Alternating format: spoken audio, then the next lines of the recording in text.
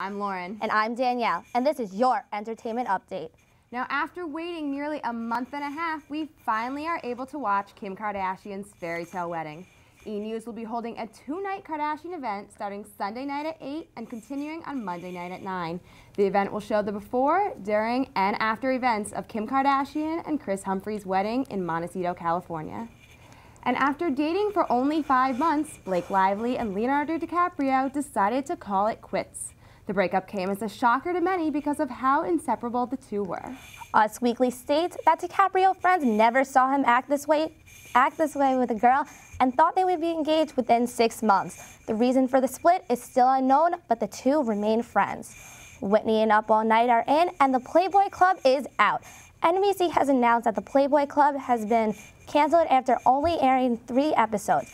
Rock Center with Brian Williams will take over the Playboy Club's 10 p.m. time slot beginning October 31st.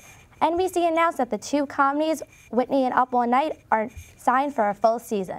That's all for this week's entertainment. I'm Lauren. And I'm Danielle. Now back to the desk.